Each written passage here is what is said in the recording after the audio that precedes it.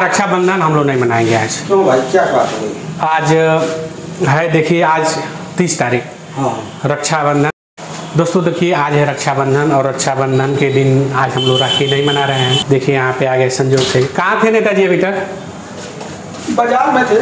हाँ। और बताइए क्या हाल चाल है? आज रक्षाबंधन का त्यौहार आया मनाने मनाने तैयारी हुई कि नहीं?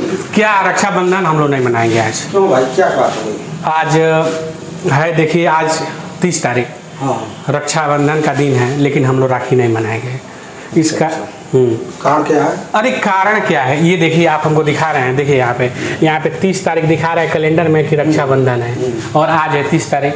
तो रख, राखी का त्यौहार दिया है कि तीस तारीख को रक्षाबंधन बनेगा। और देखिए आज रक्षाबंधन कोई कोई रक्षाबंधन मतलब राखी का त्यौहार कोई नहीं मना रहा है। यानी रक्षाबंधन हमको लगता है कि कल मनेगा इकतीस तारीख को। तो आप बताइए आप बताइए कि आखिर राखी त्यौहार के दिन मान लीजिए कि राखी हम लोग क्यों नहीं बाँध रहे बताइए। समस्या है कि हमारे धर्म में तमाम तरह तरह के लोग हैं। मान लीजिए कि कोई हर धर्म में दो त्यौहार दो डेट पड़ जा रहा है। हम्म। इस बार भी दो डेट पड़ गया है। अच्छा अच्छा। लोग कह रहे हैं कि पूरे दिन भद्रा की वजह से रक्षाबंधन नहीं होगा। हम्म। और साढ़े नौ बजे रात से साढ़े बारह बजे रात तक भद्रा रहेगा। हम्म। अति मतलब रक्षाबंधन रहेगा। तो, तो रात को कौन रक्षाबंधन मनाएगा?